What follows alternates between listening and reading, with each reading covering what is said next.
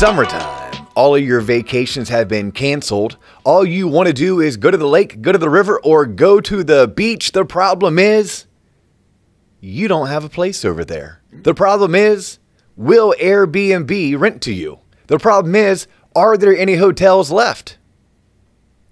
You are tuned in to the Loan Officer Podcast. I am Dustin Owen. Along with me is John Coleman.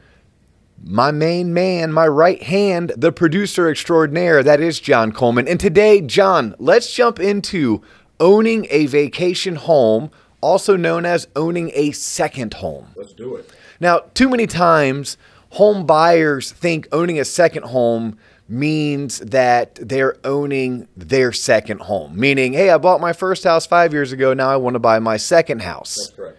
Eh, when we think of a second home, we're thinking of a vacation home. Okay. Not a rental property, although you very well may choose to rent out the home. Mm-hmm. You're not buying it solely for rental purposes. Okay. And that's probably the main difference between an investment property and a vacation home, or what we call in the mortgage industry a second home Okay.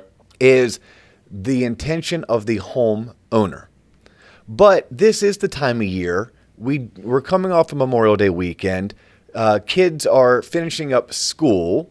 And we do have an extra special curveball thrown at us in 2020 called COVID 19.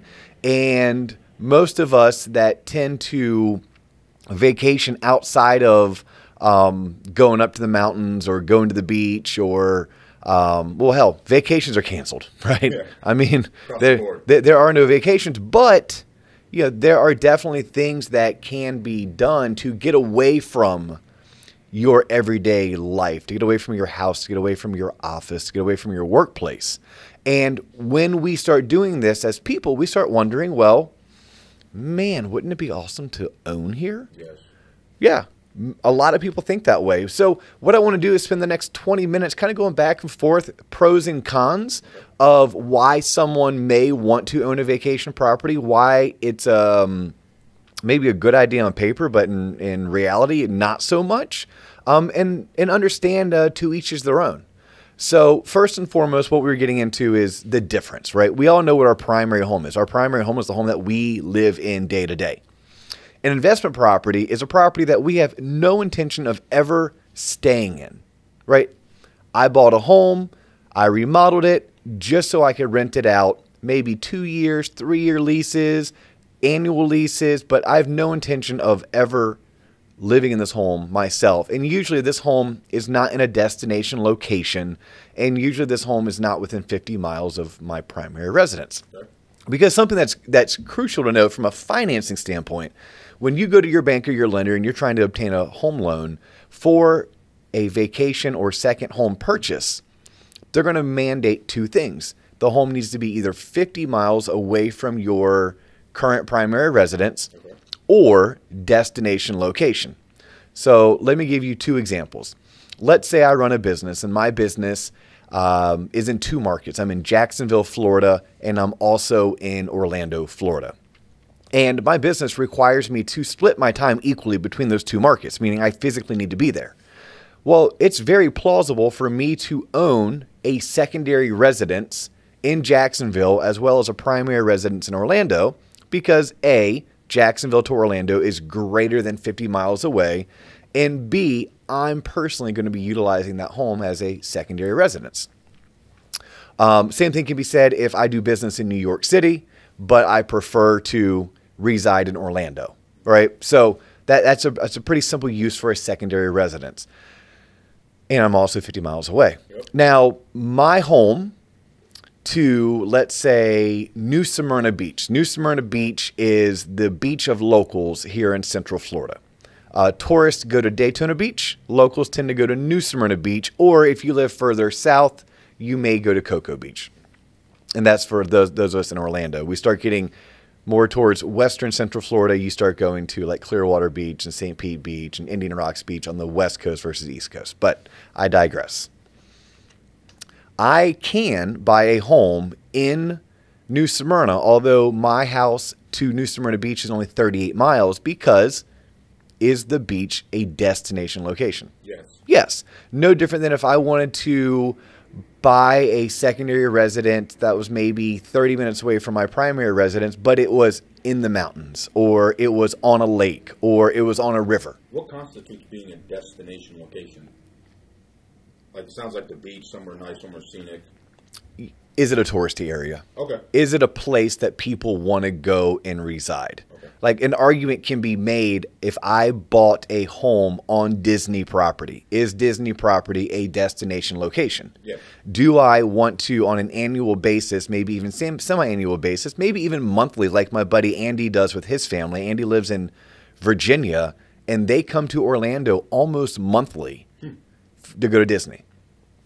Um, one, one could state that yes, Disney, the attractions here in Central Florida would be deemed a destination location, but it's, it's typically that Okay. a place you would go to get away from um, your your suburban uh, planned unit development lifestyle. Gotcha. Condo at the beach, cabin on uh, in the mountain, cabin at the at the river or on the lake. Okay. That would be a destination location. So all this can be done. And all this can be done from a financing standpoint with as little as 10% down. But that is something that is crucial for anyone who is interested in buying a vacation home, which this is the time that this is going to happen. You're going to go on vacation. You and your spouse are going to fall in love with wherever you are. You're going to have the most magical time and be like, oh, we should buy here. Okay, well, wh- what does that look like? What does it look like to buy? First and foremost, in order to finance that purchase, it's going to be 10% down, minimum. Um, now, at 10% down, you're going to be struggling with well, do you pay private mortgage insurance or do you qualify for a loan that doesn't require private mortgage insurance? So, without getting into all that, just know it's 10% down. Also, know that when you go to qualify, you have to qualify with whatever your current home's payment is plus the payment of this new property. So you have to be able to qualify with basically two monthly mortgage payments. Now, just because it's a vacation home does not mean that you cannot rent it. You can rent it, but when you buy something as a vacation home, you're basically stating that you are going to personally use this property at a minimum two weeks out of the year.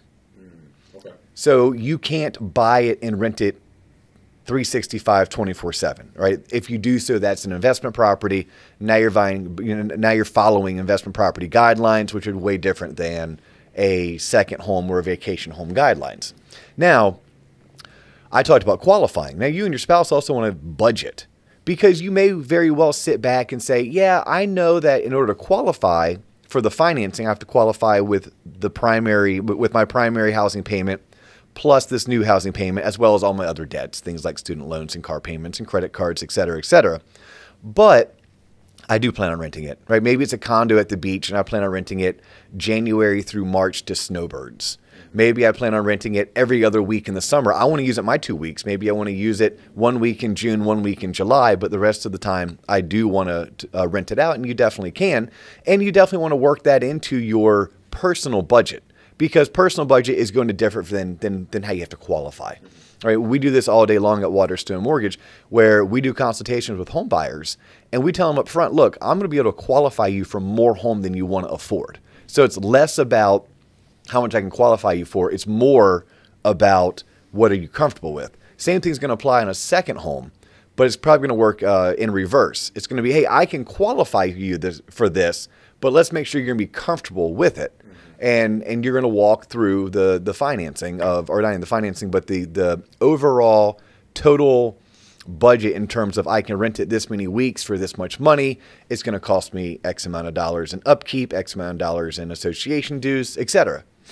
And whether or not someone buys a vacation property or not is 100% a personal preference. No different than whether or not somebody rents it is going to be a personal preference. I'm one to state if you have to rent it for it to make sense for you on a budgeting standpoint, take a really hard look at this decision.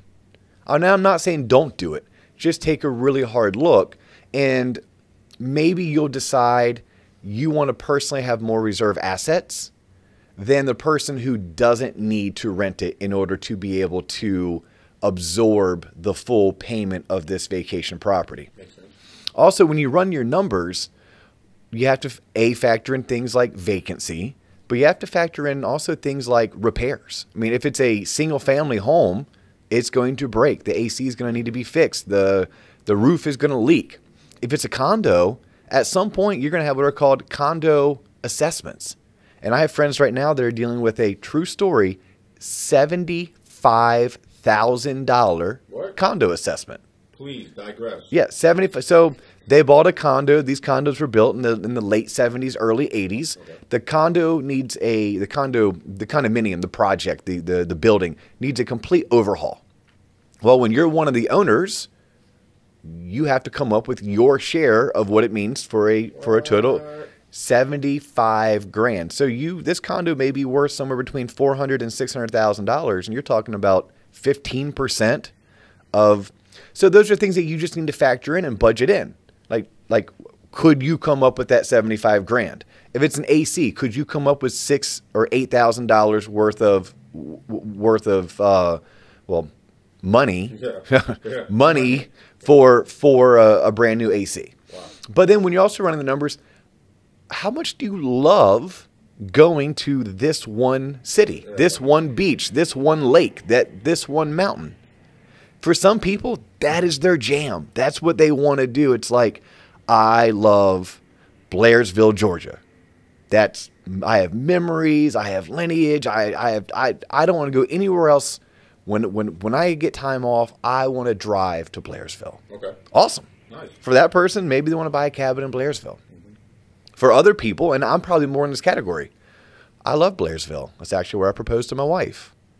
But I want to check out Charleston, and I also want to check out Maine, and I also want to go to Colorado, and I also would like to go to um, Havasu Falls. Wow, you're buying a lot of investment vacation properties. Yeah, right. So I'm not. So I'm not. And, and and when I start running the numbers for owning a vacation property and not renting it, I can get real geeky with math, right? So I ran these numbers once about buying a condo at New Smyrna Beach, and I understand that um, my condo should appreciate on average two and a half to three and a half percent annually. So if I bought something for five hundred thousand dollars, that condo is going to go up on average approximately twelve to twenty thousand dollars a year in value. I also know that the payments I make on that condo are some of them are going to go towards paying down a loan. That's principal reduction. That's my money that I'm saving. So even though I put fifty thousand dollars down, and even though I pay three thousand dollars a month, I'm not really out of pocket the full thirty-six thousand dollars and the full fifty thousand dollars because I have some things going towards principal. Some of my costs is being offset by appreciation. But what I had to figure out is that condo purchase, if I don't rent it, it was a thirty thousand dollar a year luxury item. Now, now that's thirty thousand dollars to state on a random Friday afternoon. My wife could say, "Hey, let's go have dinner at the Garlic in New Smyrna, and let's stay the weekend. The weather looks great, and the kids don't have a whole lot going on." Yeah. That's a luxury because for that to happen any other way, I'd have to a make sure I could find a rental over there. I'd have to pay the five hundred dollars. It wouldn't be my own. It'd probably be some Marriott property or some Airbnb. B and B. Um, I'd have to pack more stuff because if I owned already over there, I'd have a set of clothes and I'd already have the boogie boards and the surfboard and the yeah, chairs. You could just hop in your car, just dressed as is, really, and just go over there. Yeah, just yeah. And how awesome would that be? Yeah. Amazing. But it's a thirty thousand dollar a year luxury. That being said, would you? Is there a certain point in your life that you would advise someone looking into a vacation property? Let's say you own a home. Like, is there a certain point in the home ownership process? Like, you're 50, what- you're halfway there paying down your mortgage. You're 75 percent of the way there. You're 25 percent. Is there a certain time period that you would advise, like, hey, this is a good time for you to think about buying a vacation home rather than you know instead of taking on the burden of a second mortgage if you're barely paying off your first? I I don't think there's ever a certain time in life or in in your um, cycle of being a homeowner. Okay. I think it's one of those. If it makes sense, it makes sense. the The purpose of today is I kind of want to lay out the thought process so people can try to figure out does it make sense for them or not. Um, are they thinking it all through? Because a lot of times we can go on vacation and we can get caught up in the hype, Yeah. and you know the hype's for real. And and I have a lot of friends who love their beach condo. They love their home in the mountains. They love their their place on the river. Um, but is it for everybody? I'm sitting here saying no because it's not for me. Yeah. But it doesn't mean it's not for them, and it's and it's not also that I, my wife and I don't dream about owning a beach condo because we do. Um, I just haven't been able to pull the trigger. I haven't been able to find enough of um, uh, internal evidence that it's like, yeah, go ahead and pull pull the trigger. Because when I start running the numbers, I don't know if spending thirty thousand dollars a year is on that luxury item is is what I'm ready to do. Because I if I had thirty thousand dollars, that's a lot of money. That's a, you know, it's like if I even if I had the thirty thousand dollars, would I rather use it by taking two or three really awesome vacations Yeah. to literally you name it. Maybe I want to go watch the Jaguars play a game in London. Maybe we go to London. Maybe I want to go skiing. Maybe I want to go to Alaska. Maybe I want to go to a dude ranch. Maybe I it's like maybe I'd rather do a bunch of other things than than just be able to on a whim pick up and drive an hour to the coast and stay in a place that's my own. Yeah. Now that being said, what if I did rent it? Right? What if I did rent it and now I know that I can rent it enough that it's paying for itself and maybe my my financial outlay is basically what I would have paid spending the money on the Marriott hotel room or on the Airbnb. Yeah, that's a good point. But then when I rent it, I now have strangers using it. I, you know, maybe the wear and tear goes up, maybe someone breaks it, or the worst part is that when people buy these vacation homes, well, their friends and family want to hook up. Oh, yeah. Hey, man, hook me up. Hey, are you, are you, Hey, you gonna be out there this weekend? yeah, yeah, yeah. And it's like, look, are, are you going to tell your mom and dad that they can't go to your beach condo? Absolutely not. Okay. But when they go over there, do you know what they're going to do? Go through every single cabinet drawer, rearrange. What is this doing here? Oh, are they? Yes. Okay. Well, mine at least. you- yours will. So I'm, I'm thinking more financially. You know what they're going to do? Oh. They're going to wash their clothes. Oh, They're going to turn on the the power. They're going to run water. Um, run up that bill. Yeah. Yeah. So like you don't think about this, but you let your best friend and, and his family use it for a long weekend. You let your parents go over there for a week. Now you haven't used it, but all of a sudden you see that your utility bill is triple. I just thought of this when you mentioned that. It's like, oh, you want to go over there? Yeah, you want some cable? Okay, maybe not cable. You want some Wi-Fi? That's a monthly expense. Yeah. Keep that up. You can't Cor- just switch it on and off. Well, and, and that is something to think about as well. Yeah, is that you know it, it's it's more than just the payment. It's the payment Yep. plus the taxes, plus the insurance, plus the association dues if we're talking about a condo, plus utilities. Now, sometimes association dues at a condominium project will include some of your utilities. Maybe your water and your cables included, um, but it's still things you have to factor in. And again, to some, I mean, I, I, I can rattle off my buddy Chris, my buddy Art. Like they love their condo, they just do, um, and and they have it figured out to where their condo has paid for itself year in year out. But when you do that, when you rent out your condo at the beach or your place on the river, you're also losing some of that flexibility of, oh, I want to run over there this weekend. Oh, well, you can't. It's being rented. Um, so it's just you know that, that that's all food for thought for someone who's looking at doing it. And look, I I mean I'm in the living of financing second homes and condos, so I don't want anyone to think that it's a bad decision because it's not. Just make the decision for what it is. It's a bit of a luxury item. It can be um, an investment, but when you purchase it, you shouldn't be purchasing it for investment purposes. You should be purchasing it because it's a lifestyle choice, because it's a luxury item. Now, it could be a luxury item that, again, you work out financially that it will benefit you long term. Like, what if for 25, 30 years you're able to own this vacation home?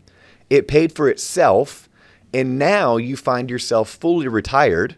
And not only do you own your primary home, but you own the secondary home, both outright. And now, what do you want to do? You can sell it. Yeah. Heck, you could sell your primary plus this vacation home and then just go buy the best Mac Daddy home that suits all of your needs. Maybe it's in a destination location, but it's a house and not a condo, and it's on a better waterway with a better view in a bigger city. So, you know, th- th- there's definitely ways that it makes sense.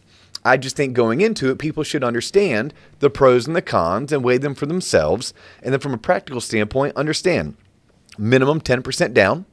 When you sit down and do your budget, if you have to rely on renting it partially to afford it, then make sure that you are in a very strong financial position. When I say that, make sure you have enough reserve assets because ultimately, like anything in life, we are going to not think of certain things and certain expenses. You're going to think you can rent it for longer than you can, and then something like COVID happens. Yeah. You're going to think that it's going to cost you X per year, and then maybe your condo hits you with an assessment, or maybe you have a roof leak, or maybe you have an appliance go down. So, if you're buying it and you don't need to rent it, then understand it's a luxury item. And then look at the cost of that luxury item and ask yourself, would I rather spend my additional leftover money on this one luxury item, or are there better luxury items out there for me? Sense. Um, but it, it definitely is pretty freaking awesome. And I'm jealous of my friends who can say, hey, we're going to go to the beach for the week. I can't say that. Hey, we're going to go to the beach for the weekend. I can't even say that. I can say, hey, I want to go to the beach for the weekend. Crap, let me go online to see if there's any. You know, these people don't have to do that. And what what an amazing experience. Um, plus, you know, you go to a place and, and it's not clean the way you want it. It's not decorated the way you want it. The bed sucks. Um, the shower head's not the type of shower head you want. When you own a place, Oh yeah, make it your own. you can make it your own. You just have to make sure you really love going to that one particular place. And if that's you, man, a vacation home is for you. And here's the best thing about it maybe you do it and you do it for two or three years and you find out it wasn't for you. At least you can say you've done it and now you know which side of the aisle to sit on. But that is owning a vacation home 101. Can you think of anything that we might have left off for uh, someone who's contemplating owning an investment property? Or not, not an investment property. That's a whole nother show. Correct. Owning a vacation home, also known as a secondary residence. I do have one question. If you own a vacation property, are there any sort of tax write-offs, refunds, any sort of incentives that would help pay like cost? Anything you can get back that would be like a kickback that exists or no? Not that I'm aware of. Now, I'm not a CPA, um, not an accountant. I know a couple of them, but I would definitely defer to a CPA um, because you are going to have this property show up on your Schedule E. Obviously, Schedule E on your on your 1040 tax return. Um, obviously, if you do choose to rent it, my understanding of the of the IRS tax code is you do have to claim that as income. Then I'm sure you have certain expenses that you can offset against the income. Um, but I don't know if there's any additional tax write-offs because it's not your primary home. Um, but you know, I do know if you rent it, you will have to claim income on uh, on that rent. And I do know that overall, owning real estate is a pretty darn good investment long term, especially when it comes to the creation of wealth. So buying multiple properties that you're going to use and that you're going to use properly can very well lead to someone becoming much wealthier later in life than if you don't. So there are definitely some benefits that want to be um, dug into, that want to be analyzed, that want to be thought out when it comes to it. But at the same time, don't make any rash decisions. Make sure it fits into your overall financial picture and make sure it's, it's going to make sense for you. And if you have any further questions, I'd be more than happy to help uh, anyone walk through the pros and cons. Um, I can even walk you through how I made the decision not to pull the trigger. But by the way, I'm still on an MLS search because I kind of still want to do it. Um, and then we can also talk about qualifying and, and are you ready financially? Like, are you set up financially both in terms of your career and your job situation and your income and your reserve assets and your other debts. And I mean, we, we can talk about leveraging equity in your primary home to come up with the 20% or 10% down payment for your secondary residence. I mean, there, there are definitely some ways that we can make this happen as long as it makes financially financial sense to the potential homeowner. But now is the time people are going to go away and they're going to rent a place and they're going to think, how awesome would it be if we owned? And why do I know that? Because I do that every time I go on vacation. I thought it'd, it's, oh, it'd be great to own something at Beaver Creek. It'd be great to own something in the mountains in Tennessee. It'd be great to own something in New Smyrna Beach. Hey, if you want to look into it, give me a call. I would be more than happy to spend 15, 20 minutes helping you brainstorm what's best for you. And if you want to get a hold of me, the office number is 407 645 6363. Um, you can find us on Instagram, Facebook, the Loan Officer Podcast. You can find John Coleman just by Googling his name. And um, if you ever want to email me, I, I use my Waterstone work email for just about everything, and that is dowen at waterstonemortgage.com. He's John Coleman. I'm Dustin Owen. You just finished listening to the Loan Officer Podcast. We appreciate you. Share us, like us, tell everyone about us. Peace.